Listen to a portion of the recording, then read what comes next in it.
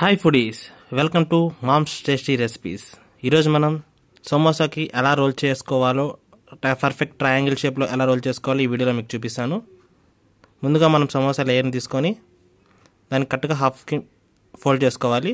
అలా ఫోల్డ్ చేసుకున్న తర్వాత కరెక్ట్గా ఫోల్డ్ చేసుకున్న దగ్గర నైంటీ డిగ్రీస్కి మనం దాన్ని టర్న్ చేసుకోవాలి. టర్న్ చేసుకొని మనం అదర్ అదర్ సైడ్లో మనం కలిపెట్టుకున్నటువంటి మైదా గమ్ ఏదైతే ఉందో దాన్ని మనం దానికి అప్లై చేయాలి. అలా అప్లై చేసిన తర్వాత ఆ ఫోల్డ్ చేసుకున్న దాన్ని ఆపోజిట్ సైడ్కి దాన్ని మనం దానికి అటాచ్ చేయాలి. అలా అటాచ్ చేయగానే దానికి అతుక్కోబోతుంది సో మనకు మధ్యలో ఏదైతే గ్యాప్ ఉందో దాంట్లో మన స్టఫింగ్ అనేది పెట్టుకోవాల్సి ఉంటుంది.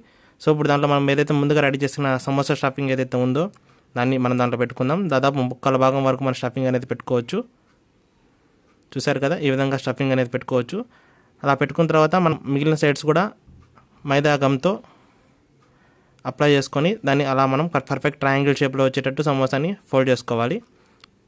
చూస్తున్నారు కదా? ఈ విధంగా మనం